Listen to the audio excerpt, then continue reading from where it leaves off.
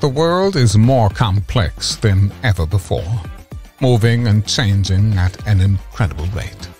No one is immune, not even the most successful leaders of today's best known companies. We are taking the global industry to new assumptions beyond agile and business agility. Be ready to understand the science behind high uncertainty and accelerated change. Be ready to challenge your organization. Join us at the Enterprise Agility World Conference to know more. The largest event on science, organizational change, and enterprise agility. Enterprise Agility World Conference. The place where science meets organizational change.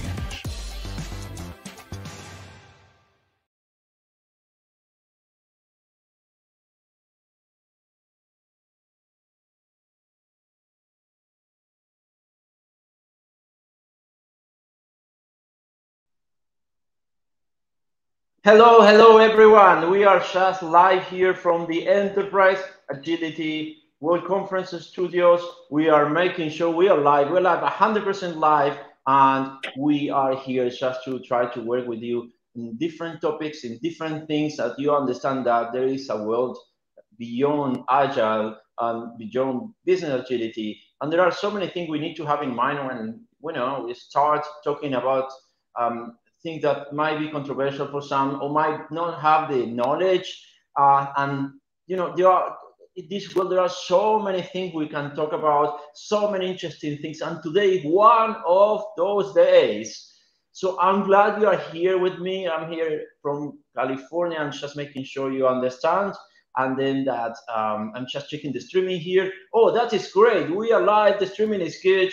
I'm making sure that um, everyone is there on the other side. So also, guys, today, don't forget if you have questions, use the chat box, ask questions. We want this time you to ask a question. We have so many questions all the time, but I want you to influence this conversation. Um, today, before going for our guest, I wanted to welcome Sylvia, and Sylvia is in Uruguay. Thank you very much for joining today. Sylvia has been um, you know, in the HR or people world for many, many, many years. She's a consultant and she's going to be uh, helping me when she knew that Zoe would be here. She said, I want to be there. And it was very late yesterday. I don't know. It was like one in the morning when she said that. So thank you for joining today. And I wanted to welcome also Zoe to our Enterprise Agility World Conference Studios. Zoe is an organizational psychologist and she has been working in everything related to you know how we can build better organizations with healthier people and today the topic is quite interesting as we're going to be talking about burnout and burnout is such an amazing topic that um, when we talk about burnout, people do not understand that this deterioration process is not in one day. It's not like one day you just wake up and you have a burnout. So many things happen here. So Sylvia, help me out with some questions. Where should we start here? And welcome, Zoe. Zoe, where you are today? Hello, Eric. Hello, Sylvia. Thank you very much for having me over. And uh, I wish you both a wonderful conference for this year. I am actually in Athens, Greece, this small country with, uh, with uh, a lot of ancient ruins. You might have heard of it. Yes, yes. I, I, I was mentioning just before joining that um, it is one of the few countries where I've never been. I've been trying to go there. Every time I try to go there, something happens but hopefully soon it is changing. Now we like the ruins you mentioned, we don't want to ruin the organization. And, and, and burnout, I think, is, is very important. So Sylvia, I pass the ball to you. You start with this. Let's start this great conversation today about burnout. Okay, thank you. Thank you, Eric, and thank you, Zoe, for being here with us today and sharing all your expertise about this very important topic, which um, it's it's it's it's driving a lot of um, things, not only in, in the in the um, normal personal environments, but also in in the workplaces, right? So. Um, the way I understand burnout um, is that it refers to the mental, physical, and emotional um, state uh, and this is as a consequence of suffering chronic and or prolonged situations of stress right so uh, how would you um, say um, um, it can be prevented right so this uh, this type of silent condition uh, can be prevented and i i can say or that's my personal point of view that that's a silent condition because it takes some time um, to identify that. And as Eric mentioned, uh, this is not happening overnight, right? Mm-hmm. So, and, and that's because it is silent, because it takes some time to identify um, when someone is going through burnout, mm-hmm. right? Uh, thank you very so, much for this question, Sylvia. Uh, for mm-hmm. starts, I think that it is very important to state that burnout is not a diagnosis in the sense that it's not a disease. Uh, it is a syndrome, and uh, it has a lot of different symptoms that can look like stress, or sometimes they can even look like depression. But it is related, like you mentioned, to prolonged and chronic uh, work related stress. Now, the way we have to prevent it has three different angles. For starts, we have the organization and what the organization can do to prevent uh, burnout. Then we have our colleagues that should act uh, like our support system. And then, and I might say above all, it's the personal angle and the personal responsibility of each person separately for their own mental health. Let's focus uh, on the organizational side. Most organizations don't really seem to be caring about burnout they like to talk about it because it's a very modern and very hot topic and uh, they can have a lot of people listening to podcasts about it or uh, television or write articles but when it comes to actually caring about burnout they don't seem to care. What they do seem to care is asking about stuff that they want them yesterday or uh, putting extra pressure to people to over deliver sometimes they're even understaffed and they still don't hear to their uh, employees needs. So if we don't have an organizational environment based on open and clear communication, where people are actually allowed and encouraged and embraced when they're speaking up and when they're telling their own truth, by actually not suffering any repercussions when this truth might be uncomfortable for the leadership or for the managers, then we can be talking about mental health in the workspace. The second angle is, like we said, our colleagues our colleagues should be our teammates, should be our support system in the workspace. But then again, the responsibility for that falls once again on the organizational side. If our corporate culture is a culture that promotes competition in the workspace and uh, promotes even unhealthy competition, then it's very hard for people to have each other's back and look for each other. And this, of course, is wrong when it comes to prioritizing mental health and well being in the workspace. We want people that care about each other and care in a positive way, in a way that I want to help you. And if we both grow together, then that's going to be more beneficial for the business as well. And not people that are just looking for opportunities to benefit from someone's bad place in order to move forward in the hierarchy. And then finally, like I mentioned, in my opinion, the most important angle is the personal one. Because if I myself don't take care of my mental health, and if I don't prioritize my own mental health by setting clear boundaries, by speaking up, by sharing my needs, not in a, a second place and in a second time when I don't have any control on how I'm going to express this needs, but when I actually have the issue and I am still in control and I am in a position to express myself in a healthy and understanding way, then how do I expect anyone to care about my mental health? let me put it clear. Um, companies are exposed to a lot of changes, what we call exponential change. Things are changing all the time. And what I generally see is that people do not know how to establish these kind of healthy steps when they interact with each other, but also they have unrealistic goals that, you know, everyone knows that uh, someone is not going to achieve it But then they produce a lot of stress. And then you have the eustress when someone is able to cope with this, but then the stress when people are not able to cope with this.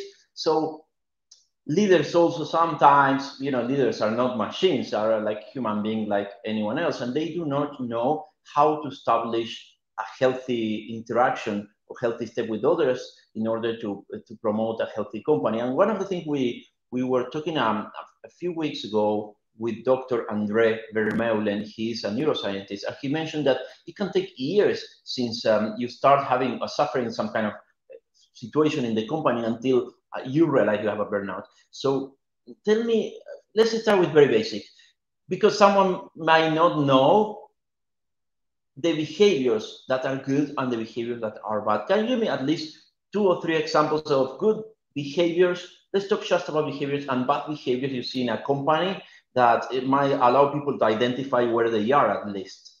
Mm-hmm. Okay.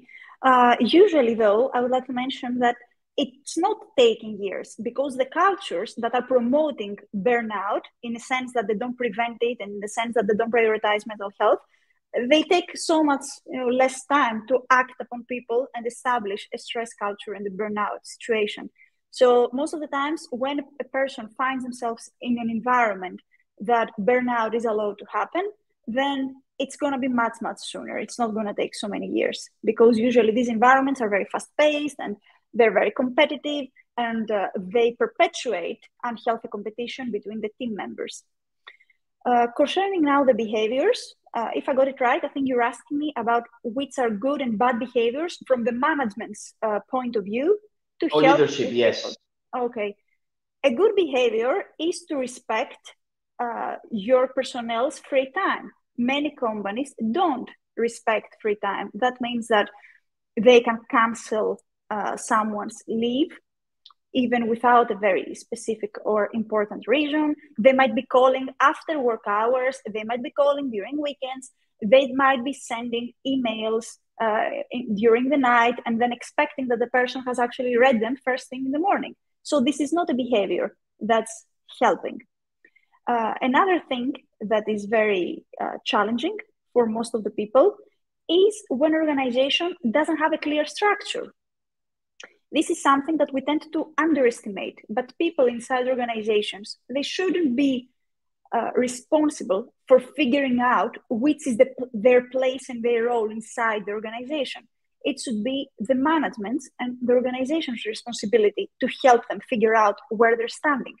So, an organization without a clear structure, without a clear hierarchy, without a clear succession planning, when you don't know who you're supposed to talk to and uh, who's doing what or what are the next steps you should be following in order to achieve a specific career? That puts people under a lot of stress. Because when somebody especially for overachievers and especially for people that uh, really care about progressing in their career it's much easier to end up over delivering and over putting effort and giving more than they have than actually giving less because of ambiguous uh, situations in the workplace and then when it comes to good behaviors, I would say that uh, establishing a culture where uh, feedback is both allowed and encouraged, and uh, there is a feedback in a 360 approach where employees are also able to give the feedback about their managers is the most important thing. How often do management actually ask the employees about whether they appreciate their management style and how they're feeling in this organization. The funny thing is that when it comes to mental health, people tend to act as if it's dark arts, but it's not dark arts. Everyone knows what's best for them. It's just that nobody asks them. And now, one question to ask you before Sylvia goes, and I know Sylvia probably have many, many questions in mind. It is that several times, as, as you said, people do not understand what they have to do. They need to find out what to do in organizations. And, and, and sometimes it's taken like um, it is good for them to do it because they need to show they are productive. So if I join an organization where I have to discover what to do, it's great. And I wanted to mention here before Sylvia goes, um, I saw an advertising in a newspaper, I believe it's in Colombia, a few weeks ago. It was on all the Spanish groups uh, all around. A company asking for, um, I think it was a product owner or someone like this, and it says immune to stress. And then I think if, if a company is asking for someone to be immune to a stress, it, it giving me some signals that in this company there is a, a lot of stress, right? How, how can um, be someone immune to stress? I have no idea. But then I, let's let's pass it the ball now to Silvia. Silvia, all yours. You go for this. I know you have a great question. I was um, listening to, to Zoe and um, and, and, and, and you talking about leadership and what is coming to mind is that um, there are some estimates and, and statistics that managers, uh, for example, account for at least 70% of variance in employee engagement scores, right, across um, units. So, um, and, and, this is very related to, to, to, to burnout, right? So, uh, in, in, that sense, how, how much do you, um, or, or to what extent do you think engagement plays a role in the burnout, with burnout? Engagement per se is not a negative aspect. We want people to be engaged and we want people to be engaged in our culture and we want people to feel organizational commitment because that's what makes a great employee. Uh, that's what helps us keep them. That's what helps us grow. But you can't force engagement. That's the problem. You can't force chemistry and you can't force for equal values. This is there or it is not there. And if it's not there, the responsibility to create it doesn't fall on the employee. The responsibility falls on the organization and the management team. What Eric said, uh, I need an employee that is immune to stress. And he said that, you know, that means that the environment creates a lot of stress. That by default is not a problem because, of course, there are so many jobs that create a lot of stress. If you are an ER doctor, nobody expects you know, to have stress for this job. It's an important job. Of course, you're going to have stress the lack of accountability is the problem. The, the problem is that in, instead of saying that we have this problem, we create a lot of stress, and we're going to do one, two, three to, to help people manage it. No, the people have the problem. We just haven't found the appropriate people. We need people that are immune to stress. One of the most basic human reactions. And this is like saying um, you are immune, immune to happiness. Um, I think emotions are there for a reason. It's telling your body, don't go, don't cross this river because maybe dangerous, or just walking this way because it's sunny there. I think the, the, the, the, beauty of being human beings is trying to understand your feelings and trying to see in which direction to go instead of trying to be immune to them. And, when a company is asking for this, I think it, it, something is, is, is not in the right place. Now, imagine that you have a team. I imagine you have been working with several teams around the world, and this team you detect that is in a position where they are stressed.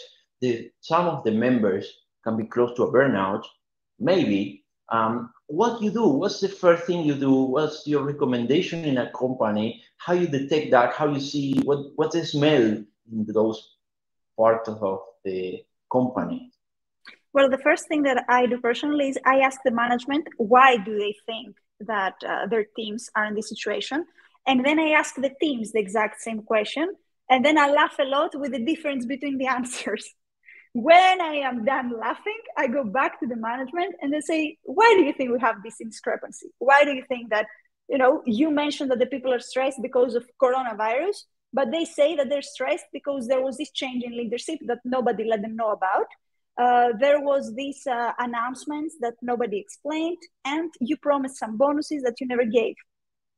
So first of all we need to map the situation and understand the real reasons behind people work stress. After we assess it then we run with interventions depending what the real problem is. But the important thing in my opinion in this situation is not to make assumptions use scientists use HR business partners, use a consultant. Don't do it yourself because if you are the person or you are the manager that created the burnout, obviously people won't be feeling comfortable sharing with you that you are the source of their issues. Therefore, if you really care about solving this problem, you need to bring in a third party that is independent and they can run their own surveys and they can give you uh, their opinion and they review. And then, I, if I'm the manager, I need to have the maturity to deal and understand what this report is saying. Now, I think it's um, important before before Sylvia goes. I'm sorry, Sylvia. I, I have something I want to mention here. I was working in a company in London, and I remember there was a psychopathic person, at least I believe he was. Um, one day I arrived to the office and, and I was a scrum coach. That was around 2007. And I saw people crying and you know, very stressed. Um, and the guy said, well, you know, this person, this manager always come here and hit, uh, you know, the table and ask for requests. And, and then I started realizing that he, he has some kind of psychopathic traits. And it was very tough to work with these people. It was very mani- manipulative. Um, this person did not engage into the feelings of others, etc. And I remember taking the, the, the team asked me for uh, to do a meeting where they wanted to tell this person, the possible psychopathic person, how they were feeling. And, and I said, okay, let's organize this. And something that you need to understand is never put a crazy guy in, in, in a meeting if people don't feel safe. So I did the meeting. This guy wanted to wanted to tell the boss how they were feeling. And then when I asked the question, okay, guys, can you tell me how you're feeling? What happened here? Why you asked me to do this meeting? And the guy said, well, you know, this is the, the, the best time in the company we are very happy here. So people were very afraid of talking. And, and sometimes uh, this is part of, um, in certain organizations, when you try to get feedback, you do not get the right feedback because people do not feel safe. And let me just, let's go quickly for that, as I know Sylvia has other question is how you assess first, because obviously you, otherwise you get the wrong feedback, if the person, if people feel safe in the company before trying to get some feedback because otherwise the feedback is useless. Mm-hmm. By running anonymous surveys. Uh, it can be okay. very high tech, like creating a form, sending it to people, and they fulfill it anonymously, and then you get anonymous feedback. Or it can even be old school. If you remember back in the day, uh, companies used to have what we called uh, a box for complaints. So the method is there. It's just that people don't want to implement it. And obviously, yeah. Uh, another thing uh, is that most of the times we assume that what management doesn't know that there is a psychopathic person in the group. Of course, they know. They just don't want to handle it. Because usually the person that is the psychopathic person in the group is also the one that produces the more sales or has the biggest accounts in the company and this is exactly, why exactly exactly. They don't want it yes. Exactly they don't want to address it. So obviously uh, this wasn't a feedback session this was a charade. If you you know there is no manager that doesn't understand who creates the problem inside the organization. They know and they can't handle it or they can't handle it.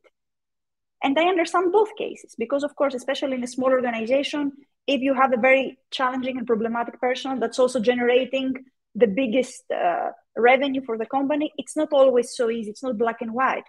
But you can not handle it as an active decision that i can't do anything about it right now. I know it's a problem but i can't handle it right now and this is a completely different state of mind than pretending that there is no problem and being in denial and then creating this situation like you described putting all the people around and asking them who's the problem and by having the bully of the group uh, in the center of the table.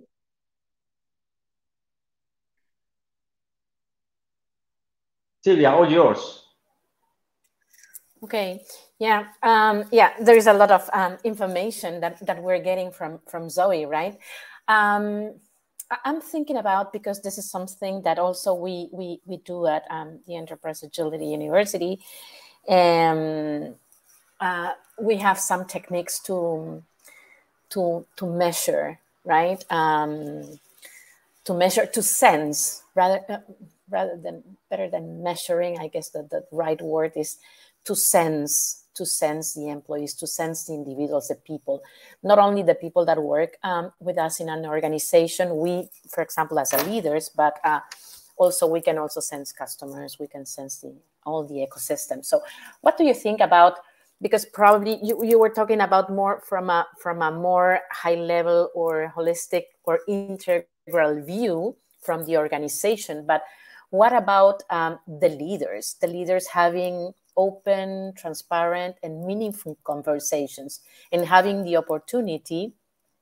You mentioned that also before frequent feedback, one on ones, all that, where they can really sense um, what is going on with each person because sometimes mm-hmm. even the person know and, and they understand that oh i am i'm living on stress but they don't realize that they are about to become burnt out. Mm-hmm. yeah uh, obviously i am uh, pro 100% transparent cultures and open communication and like i mentioned 360 feedback. Mm-hmm. and uh, i don't believe in silos. I don't believe they're helpful. And i don't believe in the old school management that uh, you need to be uh, a boss that creates a lot of distance. Otherwise if they don't fear you they don't respect you I, don't think that these uh, things actually work they're beneficial to specific people's egos but not necessarily for the organization uh, but having said that not everyone knows how to give feedback so if I come to you, Sylvia, and I tell you, oh my God, this report that you did is awful, take it back and do it again. This is not feedback. This is a bad review. This is a judgment. And it's not helpful. Because if I come to you for feedback, I need to propose to you something as well. Like this report is bad. I think that it lacks one, two, three, and this do this change there and bring it back again. We have leaders that haven't been trained into being leaders. I am working as a coach with uh, CTOs all over the world. And most of the times, what happens with these CTOs is that they are amazing developers that grow inside their organization to be VP of engineering, etc. And in the end, they become CTOs. And these people usually they're introverts in their nature, and nobody have trained them into leading a team. So suddenly, from the one day they are writing code in a room, and the next day they have to manage a team of 20 other introverts. And none of them is able to communicate clearly what they need. So, on the one hand, like I said, of course, I am pro feedback and open communication between managers and uh, employees. But at the same time, I do believe that managers need to be trained.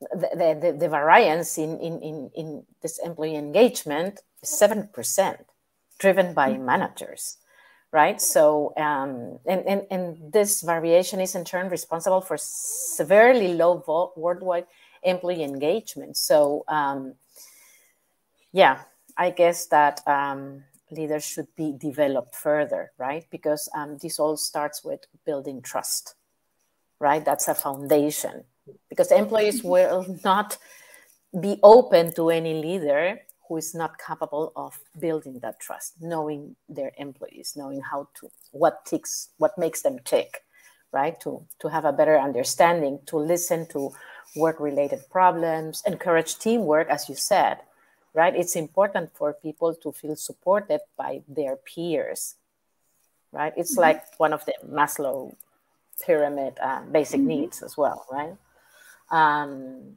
yeah, and you also mentioned that um, the importance of when when when everyone everyone's opinion counts, right? When they are able to or um, feel free to speak up, they feel safe to speak up. And, so and this is important, Sylvia, as I think that uh, people might feel that they, they speak up, but then nobody pay attention to them right? And then they don't influence anyone. Yeah, that's an, exactly. That's something I would like to mention. That above all, the most important thing is consistency. Even if you have nothing else, as long as you have consistency, people are still better. So if you are in an environment that doesn't prioritize uh, mental health, doesn't care, let's say, about diversity and inclusion, and doesn't care about people's opinions, then that on its own, it's not necessarily a problem as long as it's clear and people know up front what kind of an organization they're entering to. In that sense, a flyer that says, I want an employee that's immune to stress might be more healthy for an employee than a flyer that says, we look for super creative people and uh, innovation ninjas that will uh, join our team and this is an amazing opportunity for you to be part of something great and then they join this believing that that's what's actually going to happen and then they're actually never being heard so if anything once again honesty and the other person knowing where they're standing when it comes to this culture it's much more important and healthy than telling it's their them, choice mm-hmm. yes and creating promises that the organization can keep and well, for me when uh, it comes to important sorry. Mm-hmm. i'm oh, sorry sorry go ahead go ahead I was going to say that uh, for me, uh, my PhD is actually in corporate culture, so it's kind of my uh, like a dark poison of a subject. And uh, I tend to approach corporate cultures like Jengas. Have you ever played Jenga? Like yes. you put this, but okay, as long Not as me. it's standing. Okay, it's a game with uh, you have these small pieces like puzzle pieces, and you put them one on top of the other, and oh, you try yeah, to make I play that. Yes. Okay, yes, and you try to make nervous. it not collapse. so when it comes to organizations, in a sense, for me they're like jengas as long as it's standing and it's not falling okay somehow it's functional even if it looks weird if it, even if it doesn't make sense it's still functional so i don't necessarily believe that there is an element that's necessarily wrong with a corporate culture even if it's competition because there are people that are competitive the problem is when you don't know what your culture is so you recruit the wrong kind of people by making false promises. Yeah. yeah and also the, the, the point here. Uh-huh.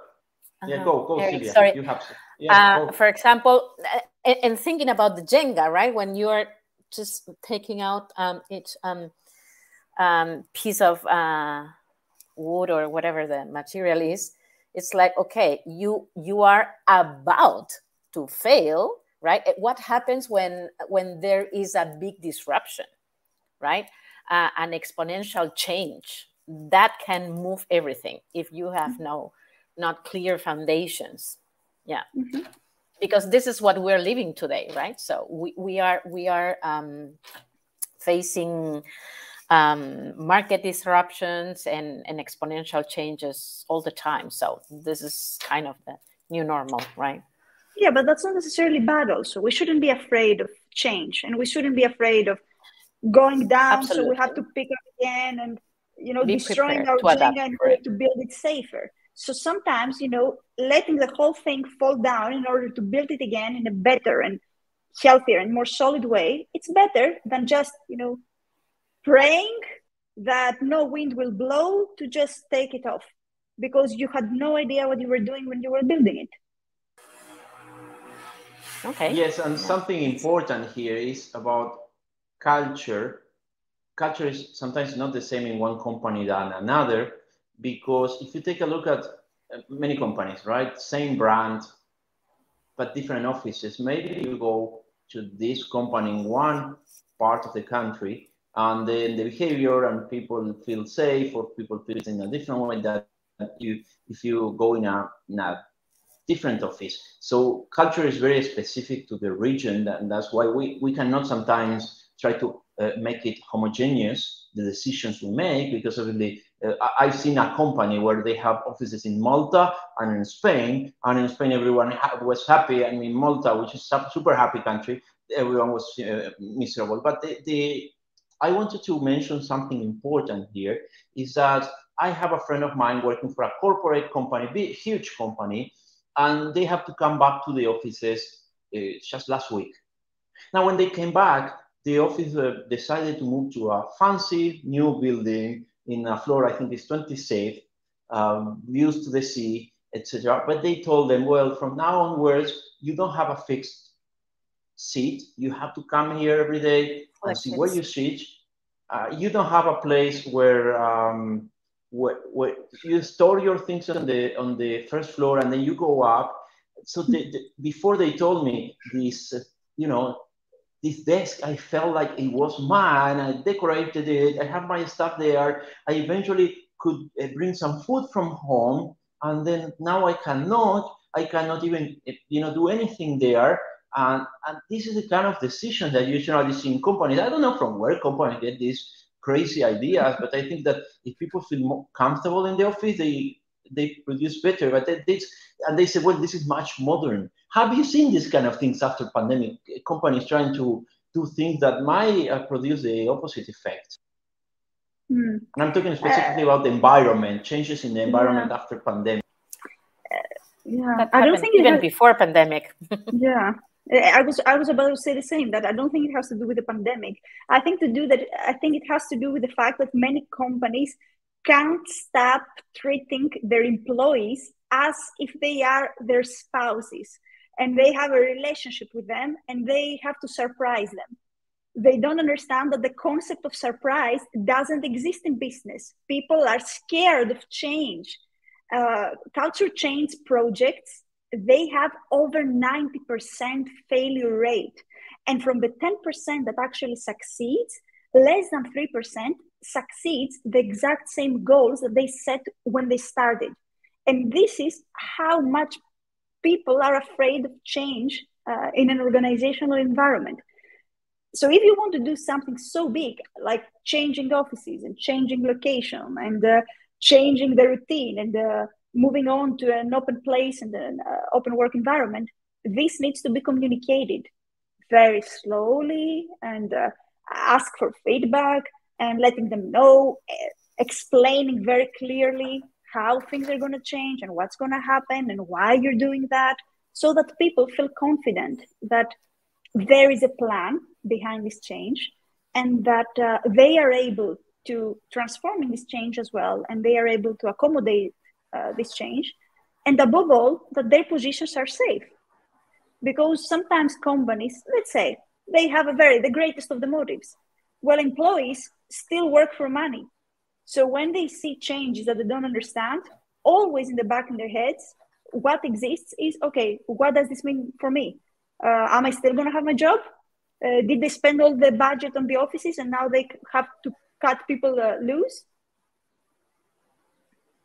So Silvia, I leave you the, the last question as we have just four minutes before we go. Okay. All yours. Yes. Okay.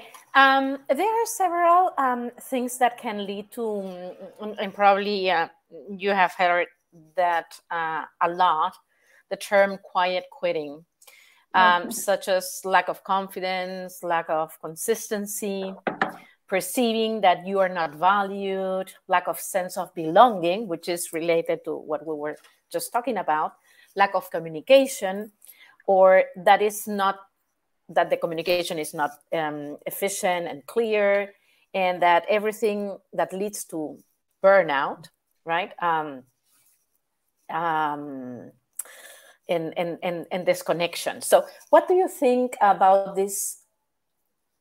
Can this be considered as a, a trigger of burnout or to burnout or a consequence of burnout? Uh, it uh, definitely is. I mean, it can be and it can be at the same time, in a sense that quiet quitting can be one of the burnout symptoms, in a sense that I'm in a mental situation that I don't have the emotional capacity to address what's happening at the work right now. So my productivity becomes lower and uh, I start missing a lot and having a lot of absenteeism and uh, I'm not able to deliver the way I was delivering. But at the same time, uh, not every person that's quiet quitting is because of burnout. There are many people that, you know, they, they also might have changed themselves. And sometimes people don't feel comfortable transforming this change into actions. So they prefer to, you know, start separating themselves and getting some distance until the situation becomes so unbearable that someone else has to take the active decision of letting them go instead of them actively saying, okay, this isn't working anymore for me. It's not you, it's me. I need some time for myself, etc. Well, unfortunately, I have so many questions for you. I know that Silvia also does uh, want to ask more questions, but I think the opportunity now is to embrace into this conversation in the Enterprise Agility World Conference. I wanted to thank first Sylvia for uh, texting me yesterday around one in the morning saying I want to be there. thank you, Sylvia, for joining today from Uruguay. And also, Zoe, I appreciate your time today. I hope uh, we meet soon. And in fact, we're going to see each other in 45 days at the Enterprise Agility World Conference. Is there any anything else you want? You have 40 seconds and you want to go ahead. Any recommendation, anything else you want to finish? Okay, if I have 40 seconds and I need to finish with a recommendation, I'd like to tell everyone happy new season. We just came back from vacation. So let's make sure that this year it's going to be better and more fruitful than the previous ones. And let's all try to make, you know, if it is to make one uh, uh, goal for this year, uh, let's prioritize our mental health. Well, thank you very much, Zoe. I hope to see you at the Enterprise Agility World Conference in November. Also, remember, we're going to have a translation in now 35 languages. I think we're going to get Arabic soon, 36. Let's see. And I hope to see you soon. Thank you for your time today. And I hope, guys, wherever you are in the world, just sense yourself, know where you are, and, and then start making some changes. Remember, the best way to make a change is starting somewhere where you feel comfortable and then moving from there onwards. So thank you very much. Zoe, do not do not move, disappear because uh, we're gonna take a, a, few minutes with Sylvia and you, five minutes, just to have a quick conversation. So guys, I will see you tomorrow. Hope you have a great day wherever you are in the world. And thank you for joining today. Thank you, Zoe and Sylvia again.